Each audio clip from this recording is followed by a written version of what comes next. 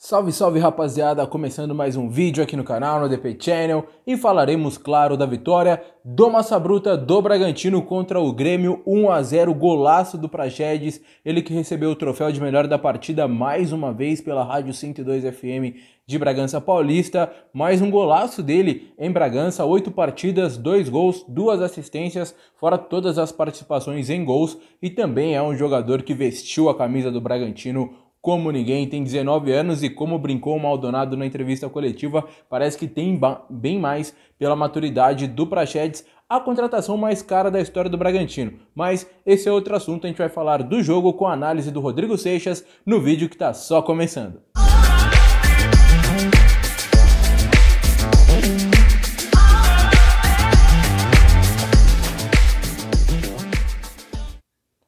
Boa rapaziada, é isso. Antes de mais nada, já se inscreve aí no canal, ativa as notificações, deixa seu like e compartilha com geral para ajudar aí a engajar o nosso canal DP Channel. E hoje aquela análise legal do Rodrigo Seixas para, claro, loja da Fanda, dafanda.com.br aqui em Bragança Paulista, é só ir lá no Bragança Garden Shopping, no primeiro piso você vai ver lá da Fanda, loja Miroa, não perde tempo, entra lá porque tem tudo, ainda mais se você tiver com sua namorada, né, de moda feminina. E no site é ainda mais fácil, porque no site você encontra todos os produtos. Olha, é muito fácil de acessar. Também tem um modo de navegação muito rápido e prático, então não perde tempo não, acessa lá dafanda.com.br, se colocar o cupom de desconto Diego, você não paga o frete, seja da onde você for da região Bragantina. Beleza, rapaziada? Bom, Rodrigo Seixas vai chegar com mais informações do, da vitória de 1 a 0, 14 rodada. O Bragantino bateu em Bragança Paulista, no estádio Nabi Abichedi. Eu tava lá, um frio danado, sensação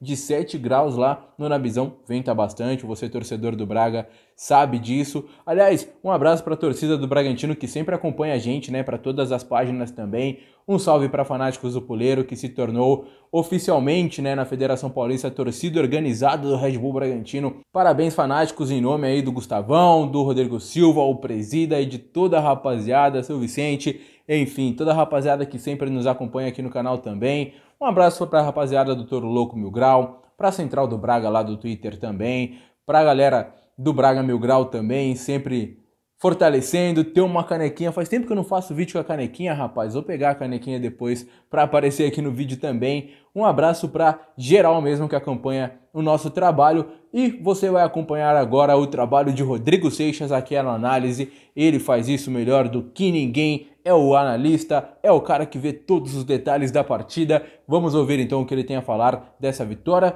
do Bragantino contra o retrancado Grêmio do Luiz Felipe Scolari do Felipão, que tá mal na competição, e o Bragantino tá lá no G4, chegou a 27 pontos, empatado com Fortaleza do Voivoda, mas o Bragantino do Barbieri, ou do Cláudio Maldonado, quando o Barbieri se excede um pouco e é suspenso, tá voando no Brasileirão, e você acompanha mais uma análise agora.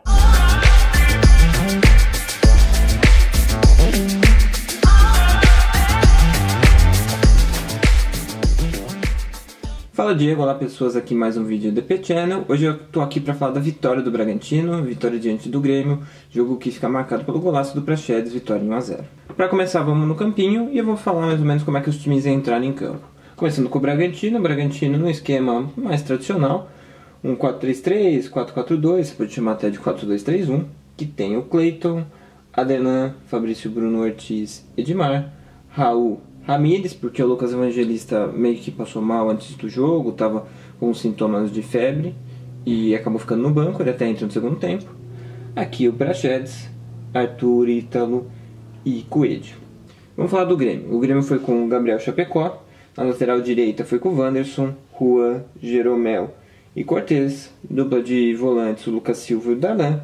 Aqui no meio de campo jogou com o Léo Pereira, Jean-Pierre e Alisson. Na frente o Ricardinho. Esse foi o time do Grêmio, que na maior parte do tempo se fechava em duas linhas de quatro e tentava segurar o Bragantino, que ficou a maior parte do tempo, no primeiro tempo principalmente, no final do jogo foi um pouco diferente, com a posse de bola tentando marcar o gol. E o jogo no, na primeira etapa foi bem nítido, o Grêmio veio com uma proposta mais defensiva, bloco baixo, lembrando que o Grêmio é o time do Filipão, então fazia aquele jogo que o Filipão sabe fazer, que é um time que se defende muito bem e sabe sair em contra-ataques. O Bragantino, que tinha sofrido um pouco com essa retomada, esses contra-ataques, foi melhor nesse jogo, então o Grêmio teve pouquíssimas chances. E o Bragantino tentou muito atacar. Aí você pode ver o mapa de calor, e olhando bem esse mapa de calor aí feito pelo Footstats, dá pra ver que os lugares onde o Bragantino mais tem, é, mais vermelho, né, são os lugares que o Bragantino mais fica, são nos lados, né, nos dois lados ali, perto do meio de campo, que são onde os zagueiros acabavam subindo para tentar criar jogadas ofensivas. Você pode ver que o ponto mais vermelho esquerdo é mais ou menos onde o Léo Ortiz e o Coelho jogaram nesse jogo. Então é ali mais ou menos naquela região que o Bragantino trocou muitos passes e tentou muito atacar por ali para tentar sair da marcação defensiva. E o Bragantino, na maior parte do tempo, tentou abrir pelos lados, ficar invertendo as jogadas, para tentar criar alguma jogada contra o Grêmio, mas não conseguiu porque faltou um pouco de profundidade na maior parte do tempo. Então acabou tendo que correr é, para outras estratégias. E uma estratégia que funcionou e que, foi, e que foi a que deu a vitória aconteceu no segundo tempo, que foi aproveitar o espaço na entrelinha para chutar de fora da área e fazer o gol. O gol do Prachetes, que cada dia mais parece mais inteiro, entendendo melhor como é que o time joga. Ele tem só 19 anos, mas encaixou perfeitamente com o time entende os movimentos do time e tem sido muito importante no jogo, com gols, assistências. São oito jogos dele, já são dois gols e duas assistências, então é um cara que tem sido muito importante, com dribles, com marcação-pressão. Então ele consegue entregar muito e consegue ser essa peça que o Bragantino ia precisar sem o Claudinho. Ele tem entregado bem, é um jogador de característica diferente, mas tem sido muito importante e marcou esse gol esse golaço de perna esquerda, segundo golaço que ele marca de perna esquerda, o primeiro também foi um chute de fora da área. Isso vai ser uma característica provavelmente dele nesses jogos. Se você voltar lá para o tempo em que ele era jogador ainda de divisões inferiores, né, da base, ele marca um gol assim de fora da área também contra o Botafogo de São Paulo. Então é um cara que tem essa característica e vai continuar fazendo isso, principalmente em jogos que o adversário se fechar um pouco mais.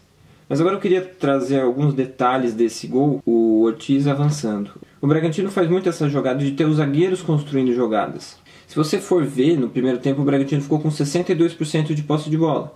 Então, o zagueiro que está em campo para defender, claro, a primeira função dele é defender, só que como o time dele fica mais com a posse de bola, ele fica a menor parte do tempo defendendo. Então ele vai ter que ter características ofensivas quando o time tem a bola. Então, acaba sendo importante que o zagueiro saiba criar, saiba avançar. E é isso que o Ortiz faz nessa jogada. Ele, ele ajuda o ataque aparecendo na frente e dando assistência para o gol do Prachetes. É um super passe para o Prachetes? Não, mas ele aparece. Porque ele poderia ter ficado atrás, como alguns zagueiros ficam, porque eles não têm característica de criar, ou porque é o pedido do treinador, mas não é o caso. Ele sobe, passa a bola, o Prachetes encontra um espaço ali finaliza nas entrelinhas do Grêmio, né? O Grêmio que se fechou muito bem, se fechava muito. Ele consegue um pequeno espaço ali e arrisca o chute. Ele que tem muita qualidade nesse chute, marca o gol que acaba definindo o jogo e dando a vitória para o Bragantino. Porque depois desse gol, o Bragantino cria mais outras duas chances, ambas de contra-ataque, quando o jogo muda, o Grêmio passa a ter mais posse de bola. No segundo tempo, o Grêmio tem 56% de posse, né, que é a partir do momento que o Bragantino marca o gol o Grêmio passa a ter a posse e tentar criar jogadas. Cria uma chance, a melhor de todas, é uma jogada bem estranha, que a bola acaba batendo na trave, num bate-rebate, uma jogada que não foi assim tão construída pelo Grêmio, então dá para dizer que o Bragantino defendeu bem. E como disse o Maldonado na coletiva pós-jogo, o time soube sofrer. Né? É uma expressão que eu não curto tanto assim, acho que talvez não seja a mais interessante para o futebol, mas quer dizer que o Bragantino, quando foi pressionado pelo Grêmio no final, conseguiu defender e conseguiu tirar os espaços e as chances do Grêmio de poder empatar o jogo e fez isso. Dava para ouvir até o pessoal de análise de, e da comissão do Bragantino gritando os números de tempo que faltava para acabar o jogo. Falta 5, falta 10, falta 30 segundos. E sempre no final falando assim: vamos ganhar, a gente não pode empatar, vamos ganhar, a gente não pode empatar. Tava na cabeça de todo mundo que eles não podiam mais empatar o jogo. Já são seis empates, né? O sétimo empate seria ruim, ainda mais em casa. Veio a vitória, o time não acho que tenha feito um jogo tão cheio assim de boas jogadas, um jogo tão vistoso, um jogo bom, mas foi suficiente para vencer o Grêmio, que está com futebol fraco, o elenco também perdendo algumas peças por lesão, outras porque o jogador acabou saindo. Então o Grêmio acaba tendo muita dificuldade de jogar um bom futebol e provavelmente vai ser um time que vai ficar pelo menos na metade de baixo da tabela se não brigar contra o rebaixamento. Então é uma vitória importante.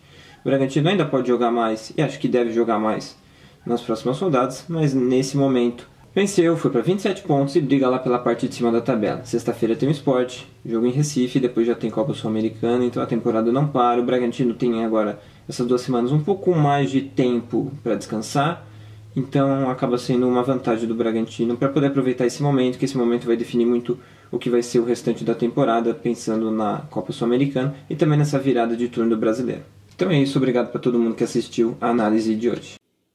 É isso então, valeu meu parceiro Rodrigo Seixas, Rodrigo que cobre também as partidas e faz excelente análises lá no Correio de Atibaia. Então acesse correideatibaia.com que você também vai saber sobre todas as informações do Massa Bruta, além dos nossos canais oficiais que está aí na descrição também. Me siga, siga o Rodrigo Seixas.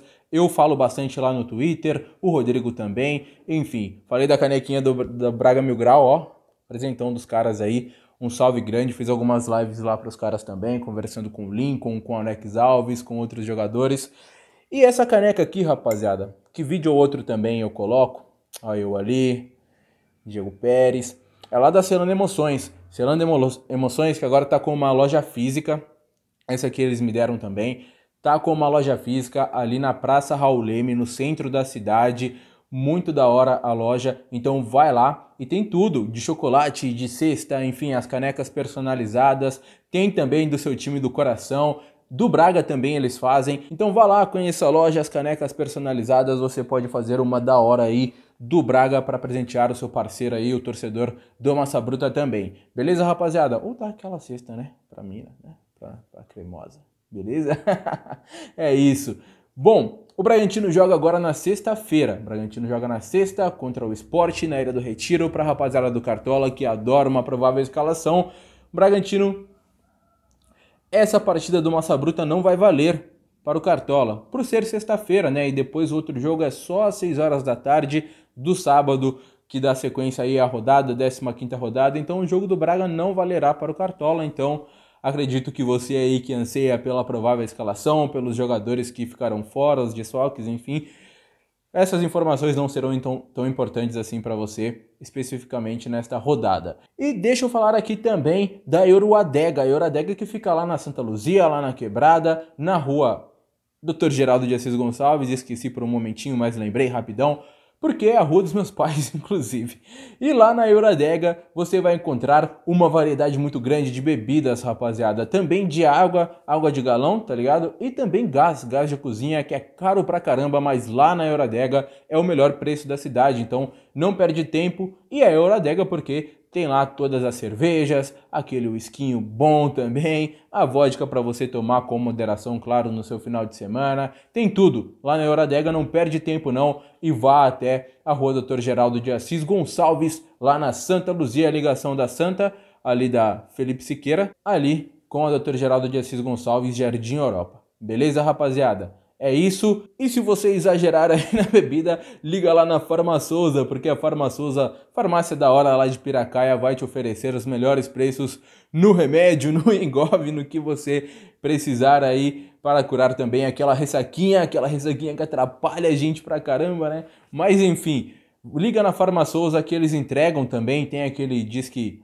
diz que entrega maroto, né? Que ajuda a gente, principalmente nesse momento aqui onde a gente está evitando ao máximo sair de casa, mais para trabalhar, enfim, para curtir um jogo do Braga com a rapaziada. E faça o seu pedido, seja em remédios. Remédio é caro também, mas lá você encontra com um preço da hora, ainda mais se falar que escutou aqui no DP Channel, o Carlinhos vai te fazer aquele descontão massa.